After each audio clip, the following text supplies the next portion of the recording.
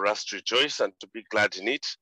Lord, we thank you for the opportunity to meet as brethren. Lord, we thank you that every time we meet, your word says where two or three are gathered in your name, you shall be in our midst. Lord, we invite you to be here with us.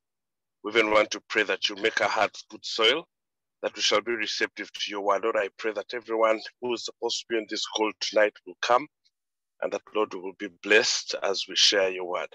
Father, I thank you for prayed, trusting and believing in Jesus' name. Amen.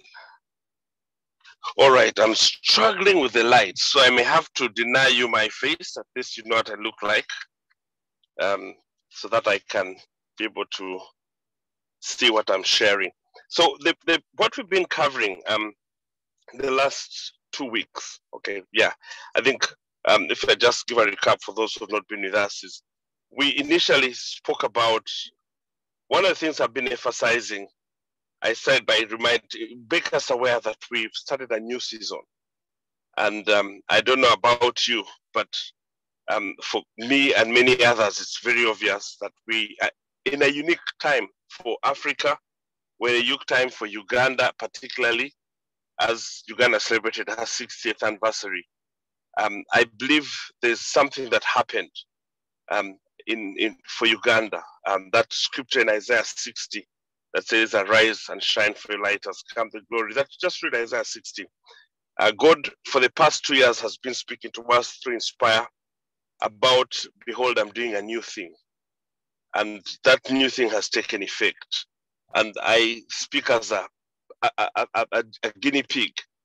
The experience that I have been through since that time has confirmed that we're actually in that new season. And I believe many of us are going to testify, like I already are, of what God is doing. And just just pay attention. you The other thing about God's things, according to your faith, um, it, it's, it's, that's how it is. It's faith. Uh, whoever believes um, receives. Whoever believes experiences what what God is doing. And and so then I went on to emphasize the importance of God's word. And that is the rider. God's word is essential because that's the only way God speaks to us. I can assure you, any way you think He's speaking to you, if it's not confirmed by His written word, then mm, good luck. God speaks through His word. And the Bible says He has exalted His word above His name. Heaven and earth will pass away, but His word will last forever. The Bible says, without faith, it's impossible to please God, and faith only comes by hearing, and hearing by the word of God. So we cannot live without God's word. Man does not live on bread alone, but man lives on every word that proceeds from God's mouth. And the challenge I've been making to us is we must be living off God's word. And the challenge I've been presenting is you must read enough of God's word every day because, and I gave the example of this number of chapters in the Bible. The Bible, Genesis, Revelations, Genesis 1 to Revelation 22, has got 1,189 chapters. Divide them by 365 days of the year. It's like God has given us a chapter for breakfast, for lunch, for supper, and half for morning tea and evening tea. If you read a minimum of three and a half chapters every day, which is four chapters alternately, four, three alternately, you'll be able to cover the Bible at least once every year. And the Bible says all scripture is God breathed and is profitable for instruction, for reproach, for correction, for instruction, that a believer will be made complete. All scripture, not some, not the ones you enjoy, all scripture. is a balanced diet. We need it all, friends. And the challenge is for us to do that. Consume God's word the, the Jews read the Torah in sequence. They read it and finish, read it and finish. That's why on the day when Jesus entered the temple in Luke chapter 4, he picked the scroll. The reading of that day was actually Isaiah 50, I can't remember what Isaiah it is, where it says, The Spirit of the Lord is upon me. He's anointed me to preach the good news. He recited, he was speaking the word for the day. So even us, we must read a portion of scripture every day. And I encourage us to read it sequentially so that you're writing it in your mind as a story that can easily play back. And it will help you understand and appreciate the application of God's word in life because you'll relate it children learn by stories. And I'm sure even you, most sermons you enjoy are stories. Jesus preached by stories. So if you register God's word as a sequential, like a movie, think about series, the soaps that we follow, they are sequential. It's easier to remember things that follow. This, I, I, I you can haphazardly read, but I can assure you the more effective way is reading it sequentially. And then um, two weeks ago, I introduced the subject of sin as the greatest challenge for all Christians. Sin, all human human beings, we are all challenged with the limitation of sin. And all of us, I told us, all of us sin, friends. If you're here on this call and you don't sin, then you're a liar. The Bible even tells you that. So we all sin and we sin proportionately to our age because every day of our lives we sin. So the older we are, the more sin we commit. Um, that doesn't mean your sin doesn't get forgiven. Um, that's why we get born again. But sinning, we sin. Uh, believers and unbelievers sin. That one, we it's just a limitation of our humanity. And last week we talked about God's solution to this sin. This only solution to our sinful nature is God's power, the Holy Spirit. So when we have the Holy Spirit, it comes and begins to subdue our human nature. And that's why we need to have the Holy Spirit to fill us as we operate from the spiritual side of Him. We will reduce our, our permission, we will be able to subdue our human side. And, and, and that's why, as encouraging us that, like the Bible says, the Genesis chapter 1, when the earth was dark and without form, and the Bible says the Spirit of God was hovering upon the deep, and God spoke. When the word met the Spirit, it created. So as we fill ourselves with the Spirit of God and we read God's word, that word will come to life in the areas of our life that we're struggling. And that's when we'll be able to speak like Paul. When as a child, I spoke like a child and I did childish things. Now that I'm a man, I've set them aside. So we need the Spirit of God to fill us up. So the two ingredients for our success in this side of eternity is the Spirit of God and the Word of God we need to we when you get born again, when you get filled with the Spirit, the Bible says, Lo, I'll be with you to the end of the age. Jesus' last words on earth in Matthew 28, verses 18 to 20 says, All authority in heaven and earth has been given unto me. Go ye therefore and make disciples of all nations. Baptize them in the name of the Father, the Son, and the Holy Spirit. It says, Lo, I will be with you to the end of the age. So the Holy Spirit is with us. The Holy Spirit is the one that actually gives us. Jesus said, I'm going to send you a helper. It's the Holy Spirit that gives us the ability to understand God's word. It's the Holy Spirit that teaches us God's word. So as you read God's word, He speaks to you in your own context. He customizes His word. The Bible says God's word is living and powerful. It's sharper than a two-edged sword. It discerns the thoughts and the intents of the heart. So God's word has its own power. And this is the point I've been telling you. Just allow God's word to enter your ears because the only receptacle for God's word is the ears. The Bible says, without it says faith comes only by hearing, hearing by the word of God. Faith is the substance of hope, the evidence of what we've not seen. Faith is the actualization of, of, of, of is the action you take because you believed what God has said. I, I gave the illustration of if I told you that if somebody told they're coming at the airport, they're flying in, and you head to the airport, that is faith because you believe that they are going to arrive. So faith is like that. You know a promise and you act on the promise. That is faith, the substance of hope, the evidence of what you've not yet seen. You head the airport when you haven't seen the person arrive, but you believe they are coming. So when God tells you, by his stripes you are healed, that faith is believing that what Jesus did has given you healing. And you start acting in the belief that your healing is actual. And that's when the healing will take effect. So faith is a substance of hope. Now, the, the thing that has been on my heart recently, and which is why we've discussed these two areas, is I felt the urge for us to go back to the basics.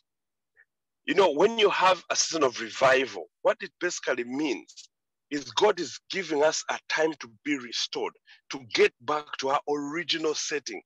What was Christianity about originally? It's to take us, restoration is to get back to the original settings. To restore is not to give you back what you had, it's to take you back to restore, to reset, get you back to your original purpose. When me and you became Christians, of what purpose were we getting becoming Christians? That's why I'm speaking about the basic things. Sin, as basic as it is, all Christians suffer from that limitation. So when we have an understanding that we have sin there, but we have a solution God has provided. God's solution for sin is his bathing soap. That is in um in first John chapter um it's in John 1 9 says, If we confess our sins, God is faithful and just and will forgive us sins and purify us from all unrighteousness. That is the Christian's bath soap. We use God's word to wash our sins. Whenever you get conscious of those things that you've done that you have not pleased Him with, bathe yourself like we bathe every day. You get dirty, you bathe again. That is how this journey is. We confess our sins to God, but we confess our faults one to another. So sin is confessed to God, faults are confessed to one another. Because as we go about life, if I come late, if I promise you to do something, I don't do it, that's a fault. That is what we make peace over. But sin is to God. God is the only one that can forgive sins. So uh, today I want to talk about God's assurance. You know, one of the interesting things is many of us Christians, I, I don't know if I've told you this story. In some school, when I was in Kenya, I used to do a lot of school ministry. And it was interesting when we'd be presenting reports. There's this particular school that the population of the school was about 500 students. But guess what? These guys had a situation where at the end of the term, they had 650 salvations. And guess what? The whole school wasn't yet saved, which meant that many of the students got saved many times because many of them thought they were losing their salvation. And I've, this is the burden I have with the church today. The church today disqualifies Christians because of their sins. And yet, all of us sin. That means if everyone had to be disqualified because of sinning, none of us would still be a Christian. The fact that Christ died when we were yet sinners, Christ died 2,000 years ago. This was even before our great great grandparents had conceived us. He was dying in advance for the sins we're going to commit tomorrow. So when you believe in Christ, friends, the Bible says there is therefore now no condemnation for those in Christ. That is the truth. So it doesn't matter what your friends are telling you. Your salvation is very hard to lose. And I think the devil has played on our minds. He's made it look like we lose our salvation very easily. And so many people become unbelievers because they think the mistake they made has disqualified them. The Bible gives us a story of the prodigal son. This guy was, he took his inheritance, and the Bible says he went to a far country and wasted his life in prodigal living until he finished all the resources he had given, he was given. And the Bible says he came to his sense. The guy found himself feeding pigs. And pigs in the Bible are like the dirtiest animals. Pigs is like the bottom of bottomness.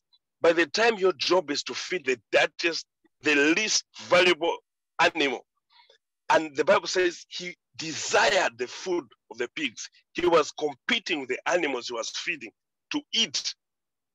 And the Bible says he came to his senses.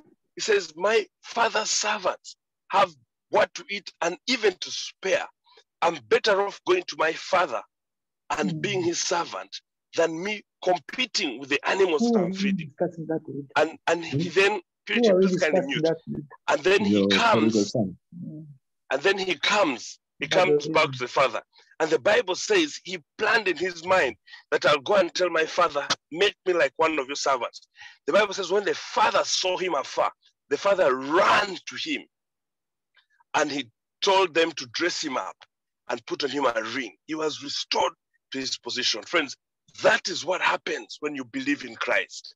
When you accept Christ, everything comes, you get back to a clean slate. And that is the truth. So don't believe the lies of the devil that we've lost our salvation because you made one, two, three mistakes. I'm, I call them mistakes intentionally because the things that our sinful nature is a limitation of our humanity. But our relationship is greater than our, our, our, our fellowship is actually, let me put it this way. When we sin, it affects our fellowship. In the Bible, the Garden of Eden, when Adam and Eve, after they ate the fruit, the Bible says they got aware of their nakedness. It's interesting, the chapter before it says they were naked but were not ashamed. But when they ate the fruit, their nakedness became uncomfortable. And therefore they hid. And when God came, they could not, they're not comfortable. Their fellowship with him was interrupted. So sin affects our fellowship. But we need to ensure that our fellowship does not eventually ruin our relationship. So there are two degrees. There is fellowship, is the free spirit that you have with God. What sin does is it distorts that freedom. But the relationship, the Bible says, he came to his own, but his own knew him not. But as many as believed in him, he gave them the right to become the sons of God. You become a child of God. That is a relationship. And he says, nothing asks, what can separate us from the love of Christ? Mm. Can trouble, hardship, pleasures, or friends, what can separate? Says nothing can separate us from the love of Christ. So the relationship that we have with God, with Christ, when we believe in Him, is so powerful. It is the fellowship that gets interrupted when we sin. And that's why when you confess your sin to Him, He's faithful and just to forgive you and to restore your unrighteousness. So sin affects our fellowship.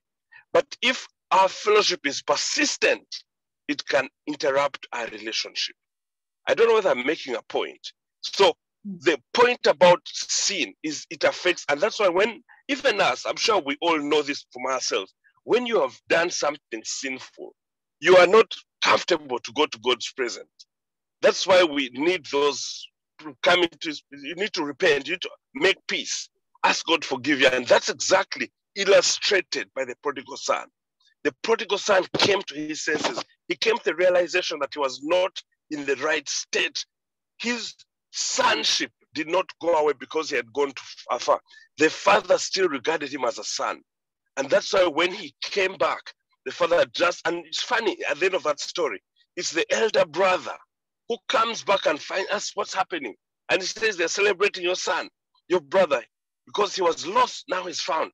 And he said, But my father, you've not even slaughtered a goat for me. And the father said, My, my son, all the things I have here, remember, the father had two sons. He gave the younger son his thing. So everything else was guy's. So that is how Christians are. The people who have never lost fellowship. You know that the, the people who criticize the people that have sinned are the ones who the Bible says, let him with sons take it as he falls. It's the Christians who think they've not, they don't have a weakness in a particular area that are very hostile to the ones that have. Today, I'm, I'm part of a WhatsApp group, um, one of the church groups. And I think there's a story that has appeared in the Ugandan Daily um, regarding a person who is a believer. And I'm, I'm seeing the criticism that is being shared on the group. And, and that is it. That's typical of us Christians because we quickly criticize, we quickly take down our, our, belie- our fellow believers when they fall. We are the, in fact, somebody has put it this way that Christians are the only army that that hurt the, their wounded. They despise, they don't take care of their wounded. So one of the things I'm trying to challenge us with as I make this point is that we need to have compassion for people that are struggling with sin because it affects their fellowship with God. Already, just by itself, the very nature of the sin affects the fellowship. So, what we need to do is help them restore that fellowship. And, and that is what we're there for, to encourage each other. It says, the Bible says, listen, let's not give up the habit of meeting together as some are doing, but let us encourage each other in the faith as that day approaches, the day of his coming. So we have an obligation, friends. The Bible says that we should we're each other uh, each other's keeper, our brother's keeper. And the expectation is that we should help our friends who are struggling. And I, I can't remember what scripture it says, but when even Peter was being taught, when Peter said he was not going to deny, when Jesus said, Satan has asked for you and I've prayed for you that you will overcome. And when you come, when you overcome, come and encourage your brothers. That's exactly what happened. Peter said, even if all these guys forsake you, me, I won't. And the, Jesus told him, tonight before the cock crows twice, you'd have died me three times. Peter thought he had the ability to overcome temptation. And we know that that didn't happen. And after that, Peter actually ended up being the one who was encouraging the brethren. And so that is the whole point. When you struggle with a certain situation and God gives you victory, the challenge for you is to help other people that fall in the same, same slate. Because that is why we go through these situations, that we may be able to strengthen each other. So I wanted to just push on. And, and the subject I wanted to discuss was God's assurance. Um, uh, the, in my daily reading, the part of the Bible I'm in is Second Kings. I've, I've basically been reading, I told you I read chronologically, so I'm in the book of Kings. But something that struck me is just to see um, where I read yesterday, I think it was today, is we see Hezekiah. Hezekiah came in. I can't remember who he came after, but Hezekiah was a righteous king. When he came in, he destroyed the, the some of the, the, the Baal, he destroyed the high places. He did the right things um, for God. And, and until the point when um, he fell sick and um, God sends Prophet Isaiah to tell him to put his house in order. And Ezekiel looked that way and told God, you know what? No, just remember the things I've done for you. And God told Isaiah, go back and tell this guy, I've I'm going to give him more time.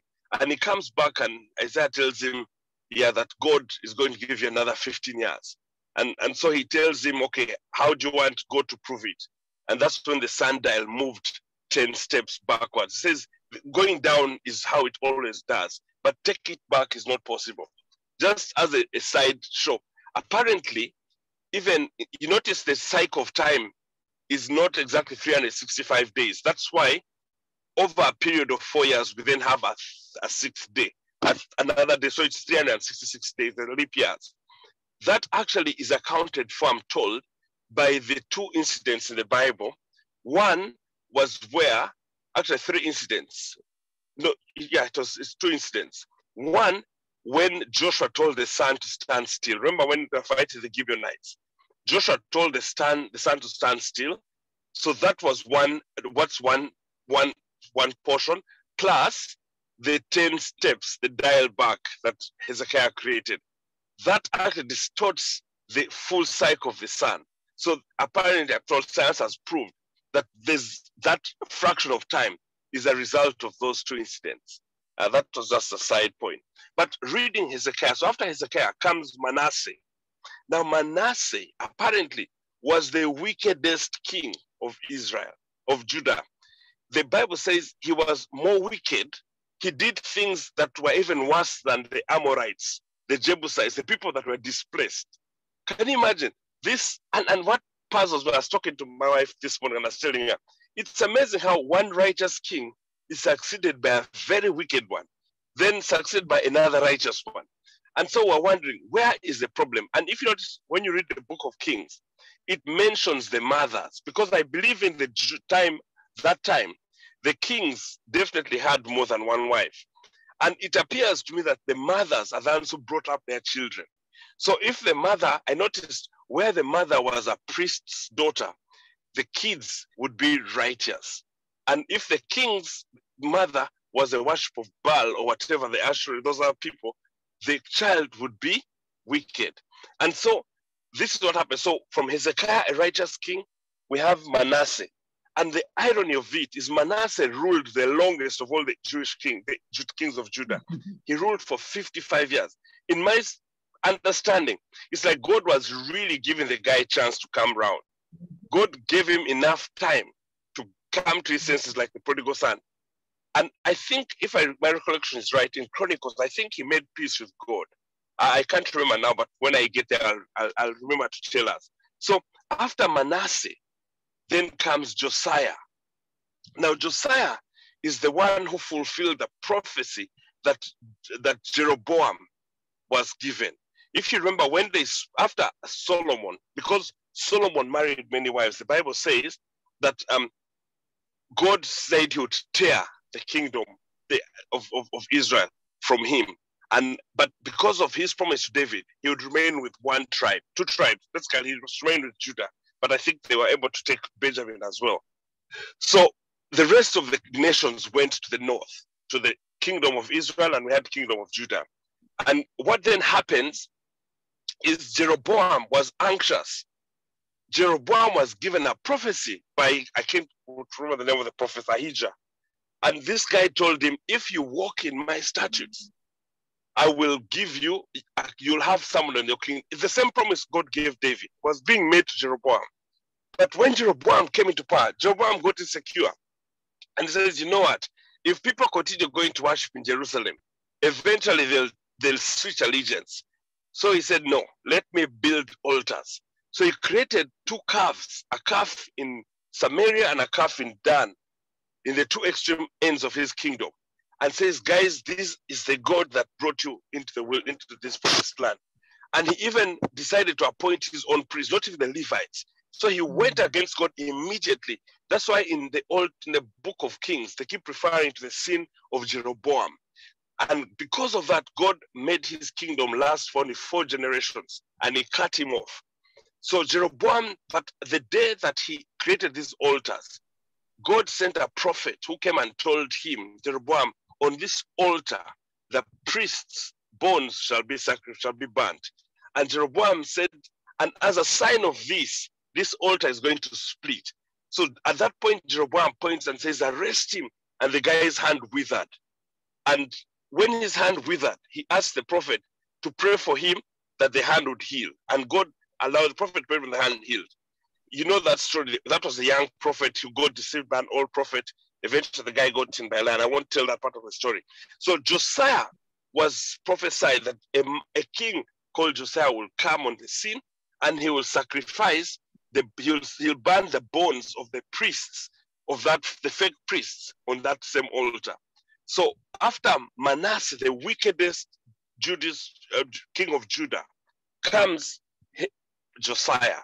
Now, when Josiah comes on the scene, the first thing Josiah did because Josiah's mom was a priest, was a daughter of a priest.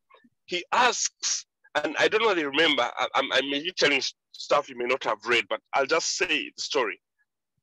There was another son of another of the kings, um, one of the kings whose father died, and the mother, the time when um, in the if you remember this, not so when God, when Elijah anointed Elisha, he also anointed, said, after Elisha, there would be Jehu, and there would be, I can't remember, there were three people who were supposed to come, and this basically it was Elijah came on the scene to destroy King Ahab, Ahab's wickedness that had come because of Jezebel. Now, uh, sorry, I'm getting jumbled up, but I'm just trying to make a point that one of the sons of the king was born and was young when the father was killed, and his mother, Ahaziah, the only Athaliah, she's called Athaliah, the only queen, there was a lady queen of Judah called Athaliah. She ruled for seven years. This mother killed all the sons of her son, all the eligible successors. She killed them, but his sister, the sister of the father who had died, hid one of his sons, called, I think it was called um, I forget his name. He was hidden in the temple. So because that guy was kept in a temple, that guy, when he became king later on, after they they, they, they, they coronated him, when he became king, he instructed the priests to put together a, a box that would collect money to repair the temple. I guess because he stayed in the temple, he saw how dilapidated it was. So he had a passion for the temple. So they started collecting money with a plan to re- repair the temple. But over years, they did not get to do the repairs. And so that practice kind of sh- shriveled out. So when when King um, when Josiah comes as a king, the first thing Josiah asked was, Can you guys collect that money and use it to do the repairs? When they start repairing the temple, they come across the scroll, the Bible, the, the Torah, the scriptures, and they brought the scriptures to him. And when he reads the scriptures, he immediately sees the promises God had made to Israel and what would happen if they disobeyed. And he immediately realized that we're in this situation because we disobeyed God's word. And he gathered all the people to read God's word. So the point I'm trying to make is that was the beginning of the restoration of Judah. So when you have a revival, God's word has to become center. And that's the emphasis I've been making that God's word has become the center of your life. And when you put God's word in the center, it's going to cause your life to begin to revolve around Him. I know many of us strong. The Bible tells us in Romans chapter 12, verse 2, it says, I beseech you, brethren, by the mercies of God, offer yourself as a living sacrifice, because this is a please, this is pleasing. And it says, Be ye not conformed to the standards of this world, but be ye transformed. How? By the renewing of your mind, by God's word, that you'll know that good, perfect, and pleasing will of God. Once you get God's word in the center of your life, it will cause you to begin to operate from God's mind on issues. Mm-hmm. And, and that in itself will get you back to your true north. So, one of the greatest challenges we have as Christians is many of us do you know that question is do you know what God's will is for your life? And truthfully speaking, many Christians don't know, but it's because they have not sought it. I've quoted to us Psalms 139 where he talks about God knowing us before we're formed in our mother's womb. And he wrote each day concerning us in his book before any one of them began. So God has scripted your life before he put in your mother's womb. That means there's already an assignment you have been created for. So, friends, you you you already there's something specific you are created to do. It's we're not just hustlers. All of us are born for a specific thing. The challenge for me and you is have we found that thing out? And because God has created for a specific thing, He has put into you the things that you need for that thing. Those are the passions, those are the gifts, those are the things that you do very easily. So, your passion, your gifts, your desires are part of the equipment that give us an indication of our purpose. And so, the challenge for me and you is if we don't bring these things forth, that means we will not have fulfilled the purpose for which we are created. And you can only find this out as you read God's word. It will tickle. The Bible says God's word is living and powerful, sharper than a two-edged sword. It discerns the thought and intents of the heart. It's able to determine. So you, you'll find your inclination towards that thing that God has created you to fulfill. There's certain things you'll find very easy to do. There are some people who are just natural friend makers. They just, mm. it's so easy for them to make connections. That is part of the purpose that God has created them for.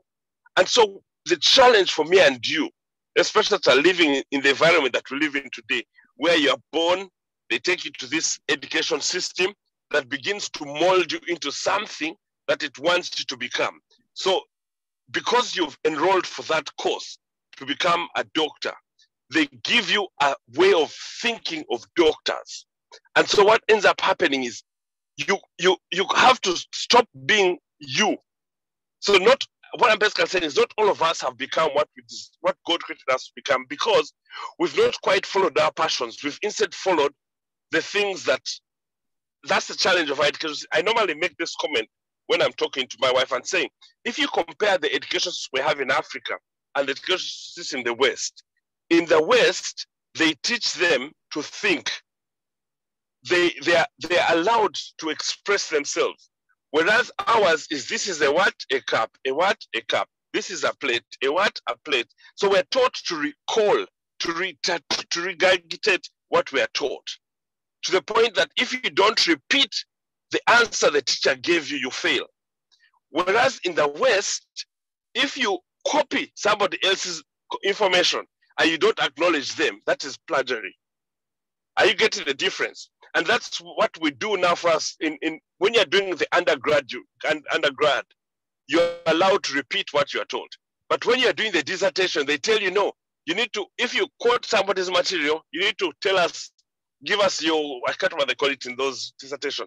You need to acknowledge the authors of the information you quoted. And a PhD is when you introduce new knowledge. But these other, the Western Hemisphere and the North, they are taught to think from the beginning. So the, I'm just trying to make the difference. They are made to gravitate towards their passions. I'm told in some institutions they give the children toys, and other children play with the toys. You can see the ones who are inclined towards engineering because they are breaking the toys and trying to fix them up. You see the ones who are looking after the baby, the, the dolls.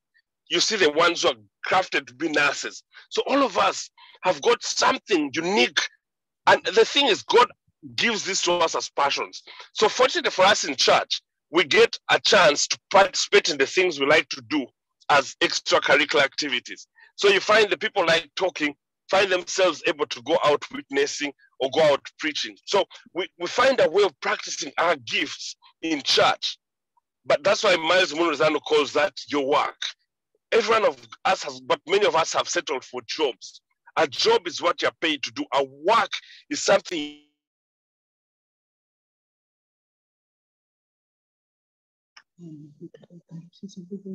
continue by just challenging us. I did I drop off?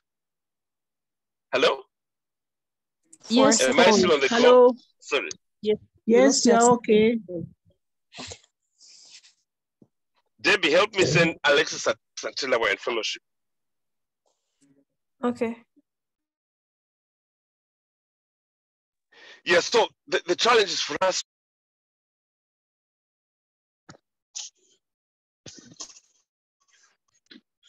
it will help us.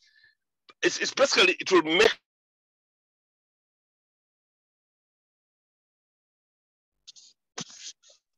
towards the things that we're designed to become. But ultimately, the one thing that we're all unified in doing is as ambassadors of Christ, is to be witnesses. The Bible says we're ambassadors of Christ, as if God was pleading through us to get reconciled, to get men reconciled to him. Our ultimate purpose, all of us universally, is to draw into the kingdom the people that are lost. Because the Bible says God died for all of us. The Bible says God so loved the world that he gave his only begotten son, that whosoever believes in him shall not perish, but have everlasting life. Christ died for everybody. Friends, there's enough space for all creation in heaven. Every one of us has a slot. The challenge is for us to give people the opportunity to make that decision because we know about it. We know the truth. The Bible says, when you know the truth, the truth shall make you free. Because we know the truth, the last words of Jesus Christ in Matthew 28, 19, 18, 19 and 20, his last words I know some of you have heard me make this statement before. The last words of somebody is what we call their will. That's why when somebody dies, their will is very important. I've told you the story of the lady called Sandra West. She was a widower of a very rich um, Texan billionaire. And this lady had inherited her husband's estate. And so when she was dying, she put in her own will that her brother who was the only relation because they didn't have children, could inherit a million dollars. I can't remember, more than a million dollars if he honored her will. And her will was she wanted to be buried in her favorite Ferrari, Jaguar, a Jaguar, and in her laceless gown. She wanted to be buried in her favorite nightgown and in a car. That's she wanted. That's her desire of how to be buried. And she said, if her brother honors his her will, he can inherit a million dollars.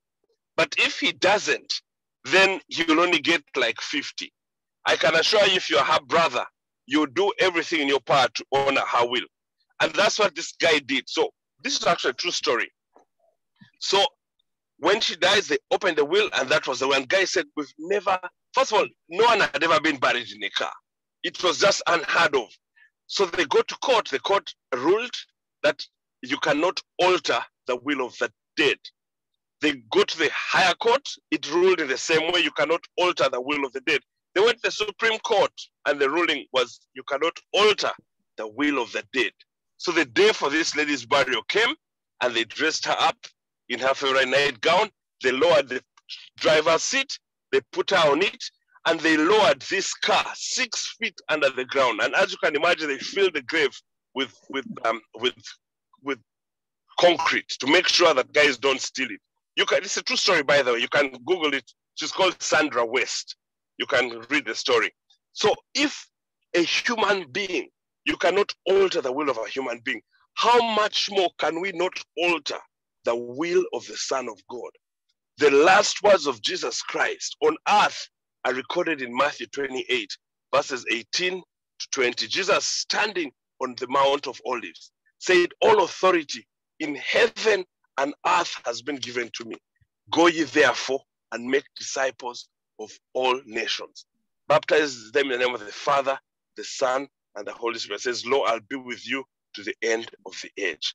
Friends, I want to finish by just challenging us that the one thing we all have a, an assignment to do, what God has created us for, is just the, the location or the, the, the target group, the people He'll cause us to access. We are created to access people. And so your gift is what will give you a particular crowd of people. So by God allowing me to come and work in the foreign country, He's giving me access to people in the region. Before I came to the Middle East, I was very limited on my knowledge of the Islamic faith. I have almost been schooled. I understand their belief system so well that I can have a decent conversation with them and know at which place I can present the gospel.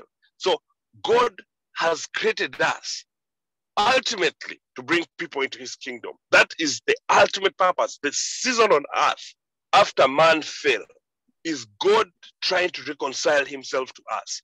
He wants all of us to qualify because after we get out of these bodies, we're going to live with Christ forever. In fact, you've heard of the millennium. When Christ comes, after this period of grace ends, we're going to have Christ come in person to rule on earth for a million, a thousand years. And then we shall be in to eternity. I've always told us eternity is longer than life. Friends, I have overshot. Apologies for that. I hope you've learned something. May God bless you. Amen. Amen. Amen. Thank you, Uncle Paul, for sharing uh, such an intuitive word. Um, at this moment, I welcome any one of us with anything to supplement what Uncle Paul has shared, or if you have any questions to ask, this is the time.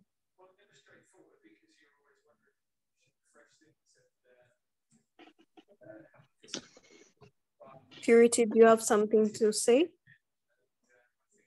Yes. Okay. uh, how is everybody? Good. Can you hear me? Yes, you're loud and clear. Okay, thank you. Our network is not very good. Um, I, I have a question. Last time I was not able to finish my question because the network went out. But um, uh, I like the topic today of assurance. And um, the question I have is, yes, we have faith. And um, why do we believe that our faith is the only faith that is eligible for eternity and for heaven? what makes it so unique apart from the other religions and the other faiths? If, if, if I had to, to, to, to compare or convince somebody that my faith is the, the assurance I have is the only way, which would be the best approach I would use? I would like uh, Paul to give some little highlight because this becomes a big challenge. Thanks, thanks, Purity. That's that that question is a thesis. Um, but I'll give you some nuggets, and I think what I'll also plan to do is I'll share on that at some point. But um, uh, it's interesting. I've had a debate with a colleague, a friend, who was athe- he claimed to be atheist, and and and so I, I told him this is how we, I presented the debate to him. I told him, can you imagine all the faiths on earth are fake? They're Mhm. all fake. Now, let's listen to which gave the best story. And, and so we said analyzing them. And, and from that debate, our agreement was that Christianity was peculiar because of the solution being somebody dying and rising again Mhm. because that is the that's the greatest the, the worst thing that can happen to human beings is death. Death is Mm. the ultimate. And so anybody who can come back to life Mhm. is more powerful than humanity. And and so the the uniqueness of how god dealt with salvation. So let me put it this way. Um when when you I, I know I'm giving you the argument from a, a biased view, but I, I'm, I'm, I'm making a case for it. Um, Mhm. when you look at this, this the Bible story, I'm, I'm, I'm going to make comparison, Bible and other books. I'll highlight a little of what I know about them. Is in, in the, the Bible story, the mystery of God's word, the Bible, is in its formation. The Bible is a collection of 66 books that were written by over 40 authors that lived in three continents over a period of 1,500 years. And yet, this book is coherent. Mhm. It's, it's a collection of prophecies and fulfillment. In fact, they say the Bible has over 2,500 prophecies, of which 2,000 have been fulfilled precisely. There are still another 500 that are yet to fulfill. So the Bible, by itself, which is the authentic word of God, is itself a mystery. So the fact that it's a mystery is, you know, I, so that is, let me start from there. So the, the word of God as we know it today, even if we just start with the five, in fact, the Torah, the first five books, is the Bible completed. Because Moses was told, when I believe this happened when Moses was the mountain, God narrated, people normally ask, where does Adam get his wife? Oh, no, rather, where does Cain and Abel get their wives? If I asked you how you knew Paul, you will say, you met me at this fellowship, some of you. The question is, how did I come to fellowship? When, so, because it was an account, God was telling Moses the story of creation. His, his, it's a narration. It's like I tell you, hey, I met Debbie when this and this and this happened. But I've not told when did Debbie even get born. So the, it's an account. So God narrates to Moses the creation. So God is basically trying to tell Moses how man was created perfect, how man fell, and how man was God planned to restore man, and how he started with Noah, men became wicked again. Then he chooses Abraham, he takes him to this land. So that whole story, Abraham gets this dream, the people go to Egypt, to Israel, to, to, to, to Egypt. After 430 years, God calls Moses to go and restore them. And then he tells them, after this, they're going to promised land. They says, if they obey these words, but they're going to disobey. God even told him they're going to disobey. They're going to ask for a king. They'll disobey and I'll scatter them. And then after I'll recover them. Then says, I will send a brother like myself. Moses prophesies about Jesus. So in the five books of the Bible, the rest is now an account of that summary. So Moses has told the whole story. So guess what? After that, they ask for a king. Exactly what God has. In fact, after that, after Moses has died, Joshua comes, they go into the promised land. We know they, they don't conquer all the tribes. So sin continues to come back. Eventually, they be start worshiping Baals. They get displaced from Israel. They get scattered. But the Bible says that there'll be a remnant. Eventually, we know they come back. As we know how Israel has been reformed, but eventually Christ also comes and Christ dies. So that whole story, everything as was prophesied. But in the time when the children of Israel were misbehaving, God sends prophets different times. So all the, the prophet. So the Bible is a collection of the Pentateuch, which is Moses, is history, and then God's promise and the God's laws.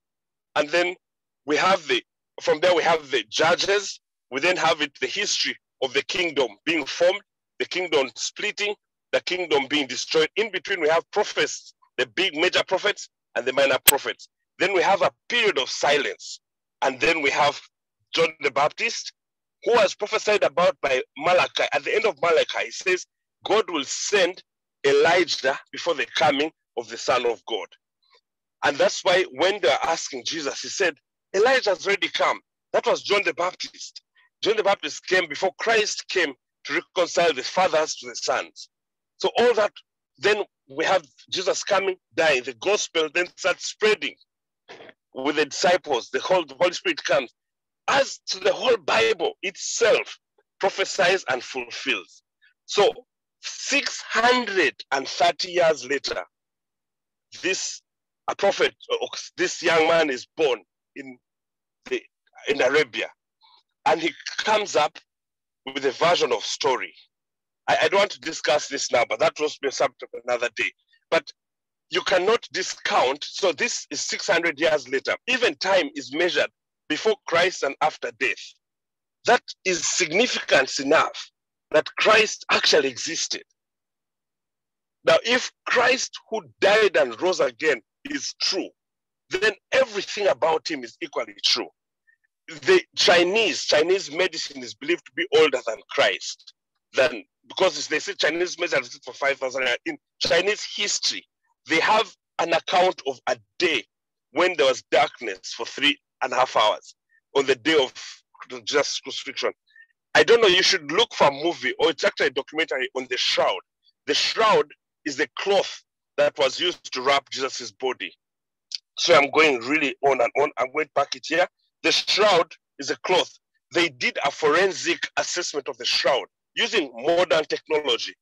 And they created a hologram of X-ray, and I can't remember the third thing. Because remember, it was a dark grave and light shone. So it created an image on this cloth, like it took a photograph. It proves that the body that was wrapped was killed in the description. We know Christ to have died. In fact, the guy who was doing the project was a Jew, an unbelieving Jew. The guy says this is true. It's this is a documentary seen on Netflix, I think. Debbie can attest. We watched it during the Easter. So there is scientific proof of the account of the Bible. So for me, that is sufficient. But that aside, I've also had the experience as an individual. My salvation, I graduated from the one of believing by faith also. You know, there's also faith that you, you have faith. Some Christians are believing that they believe. There's there's that, you know, it's just like a feeling. You, you, you've really not experienced. I can attest to my own experience. So I feel like Paul, when the Bible says Paul was committed to weeding out the people of the way. But when he had an encounter with Christ, Paul became more passionate than the guys who he was trying to kill because something significant happened. Now, Paul today in the Arabia, now let me tell you something, just because of living in Arabia, I have got to see the history of Arabia is what we read in the Bible. During the expo last year, we went to the Iran, the Iraq pavilion. Their history is what you read in the Bible. I was so mesmerized. The food you read in the Bible is the food they sell in the supermarkets here. The Bible is real, friends, because for the Arabs, it's history. Yesterday, one of my colleagues was telling me about a practice they have before they get married. The girls go out and you know that story of Jephthah in the Bible, where the the girl who Jephthah promised God that the first thing that comes if he wins the battle is sacrifice. That story Yes, for them is a tradition. They, they call it Mhm. henna. In the Arabs call it henna. But that is that story we read in the Bible. It's for me, it's so fascinating just living here. I've seen the Bible come to life because for them, because they've been taught an alternative view, but the reality is what we read. In fact, I keep saying if they could just read the Bible, they'd be shocked that it explains what they practice. I'm sorry, I've gone round and round, but um, I've compared the two most significant faiths just to make my point. The rest, I mean, we can talk about the Buddhists.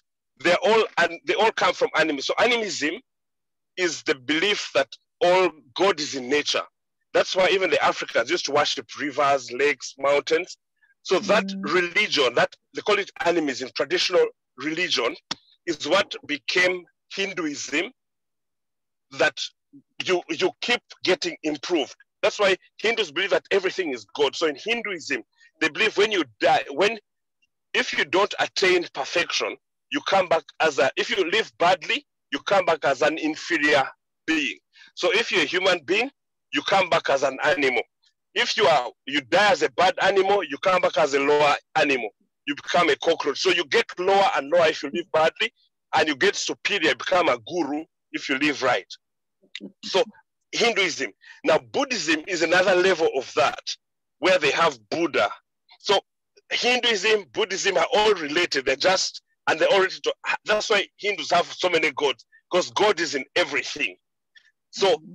all these are the exact equivalent of the religions that existed in Bible times. In Bible times, those are different manifestations of Baal, Baal, Ashtoreth, all those gods written in the Bible are the same. In fact, it's ironic that every this God and others, anything that is not Jehovah Jireh is the same God in different forms. That's why it's easier for all the other faiths to accept each other, but not this faith, because this is the only one true God. The rest are gods that subscribe to the alternative, which is Lucifer. Thank you. Thank you so much, Uncle Paul. That was quite detailed. I'm here today with my best friend. He can say hello. I brought a friend. Hello. Hello. Hello. Hello. Hello. Hello. Yeah, you can hear me. Yes, Yes, we we can. can. Yes. We uh, can. To say it in Kenyan. We can. Yes. My name is uh, Sami Kuri. And Purity is my wife. So we're here Nice together. you. I, I listened to the whole story and uh, it's good. I've learned something. Thank you. Good to have you here. Make this your Friday plot. To use Thank. Debbie's words. Thank you. Thank you so much. That was the discussion we had yesterday, and we have concluded so well today. Thank you. Welcome. All right. Thank you so much once again, Uncle Paul. Anyone else with something to supplement on what Uncle Paul has shared in regards to faith and assurance? I- I'll actually say I didn't get to my topic. I, I stopped at the introduction, but we'll we'll pick it up next week. All right. Yes, hello, can you hear me? Yes, we can. Yeah, I just wanted to add on to what Paul has said, how we passionately talked about uh, the differentiation between Christianity and other religions. That question was asked in the past, in the time of Elijah, whereby Elijah was challenged to prove that God is God, and uh, the prophets of Baal wo- would also prove that their God is alive. eh? So we, we know the story of what Elijah did and how God answered by fire, and the other gods couldn't help uh, the prophets of Baal. eh? So just to summarize, the, the, the best way we can prove, or the best way we can tell people that our God or our faith is the true faith, is that there is no other God who has ever spoken to people the way God has done. God he, he, he confirmed Jesus Christ to be his son at the time of baptism. He spoke to Moses. He has spoken to so many human beings, but other gods don't speak. Most of these other religions, they don't have any evidence or any, any record that their gods have actually spoken to them. So I think that is just one of the angles we can look at our faith. Just like Paul says, sometimes when you actually experience God or you see practically, the conviction is much more than just believing, believing, as some Christians say. So our God has proved over and over again that He's a true God speaking to us as human beings, uh, speaking from heaven. People have heard His voice. So I don't know whether there's any other God who has spoken to humanity the way our God has spoken. So that proves beyond reasonable doubt that our faith compared to other faiths quite unique. Thank you. Thank you. That was a good one. Thank you. Thank you. Anyone else? Um,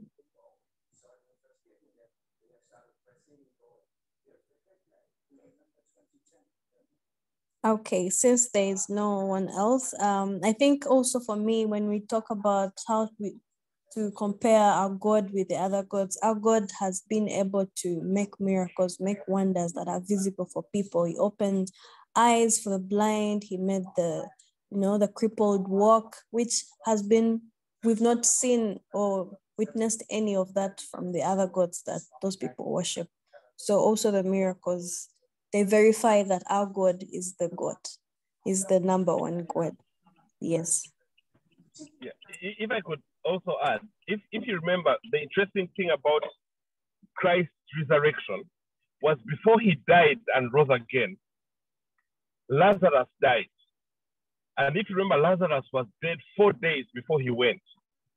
So if Jesus could resurrect a guy who was dead four days, because the Jews believe that the spirit gets out of the body on the fourth day, which means after the third day, rather than the third day, after the third day, resurrection is impossible because the spirit, they say when if somebody dies, the spirit lingers around the person. And on the third day, so even their graves have a window, as if to let the spirit leave. So Jesus demonstrated the, his power over death in resurrecting Lazarus. So by the time his own death happened, clearly he must have resurrected. Because if he could resurrect a guy, then he himself must have power over death. Yeah, I just thought the, the most significant reason of Christianity is the death, the solution, God's power over death, because that's the worst humans can, the worst that you can do to a human being is kill them. So Christ being able to reverse that is, is the most that's the greatest miracle you can ever create, you can ever perform. And he did it severally. In fact, even Elisha's bones resurrected a body. All right. Thank you so much. And thank you once again all for being part of this uh, fellowship tonight. Uh, I hope next time you'll come with a friend. At this moment, I'll welcome those with prayer requests to send them in the chat, or you can unmute and say them out so that we can uh, pray to close. Yes. You can either type in the chat or unmute and say out your prayer request.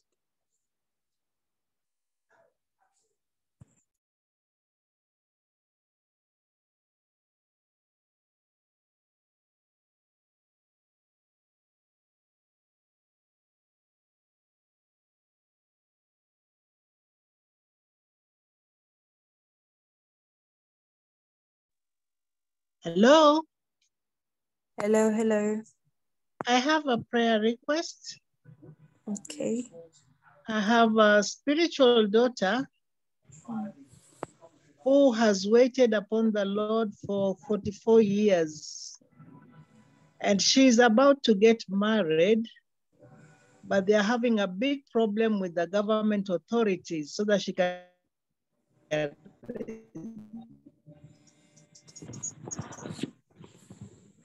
Let's pray that the Lord will make a way to be able to get clearance from the government, but they're still waiting for clearance from the government. Oh, we missed some uh, something. What clearance? We missed you. From the government authorities, Oh, from the okay. Attorney General. Okay. Yeah, in Kenya, you have to get clearance from the Attorney General before you marry in church. Oh, okay. Um, Uncle Paul, you'll uh, pray for that. Uh, anyone else?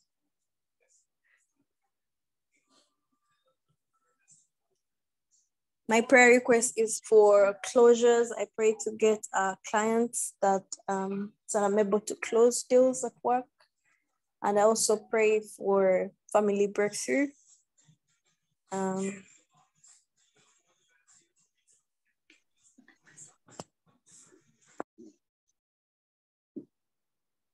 Lillian is praying for for God's grace and favor. Okay, I will. I'll start the prayer and then I'll hand over to Uncle Paul to uh, pray for the other prayer requests. Heavenly Father, we bless your holy name this evening. We thank you for you have given us this opportunity to gather here in your name, O Lord. We thank you for the word that you've shared with us, O Lord. We thank you for reminding us that you alone are God, Abba Father, that you are the King of Kings and that you are the Lord of Lords, Abba Father. We come before you with our prayer requests. Some of us might not have um, listed them. We pray that you will cover us with your uh, precious blood, O Lord, that you will intervene, O Lord, that you will answer, that you will meet us at our point of need, O Lord. Father, we need your grace in our families. We need your grace in our jobs. We need your grace. We need your favor. We need your blessings. We need your intervention in our families. Abba, Father, we pray that you come through for us, oh Lord. We're trusting in you because you alone are the only one that knows us in and out, Abba, Father. We pray that you come through. Actually, pray for Lillian even as she uh, seeks God's favor and intervention. Father, we pray that you come through for her, that you teach her your word, that you instill wisdom in her to understand your word, Abba Father. Father, we are humbled to be before you. We are humbled because you've been uh, with us throughout this journey. We thank you because you've been present, you've been all powerful. We can surely worship you and we can surely let you take control of our lives because you know us well, Abba Father. We thank you, we glorify your name. And even as we go to sleep, Father, I pray that you give us a good night's sleep, that you bless us, and that you'll bless the weekend, that you'll be with us. For I prayed and believed in Jesus' name. Amen. Amen. Amen. Over to you, Uncle Paul.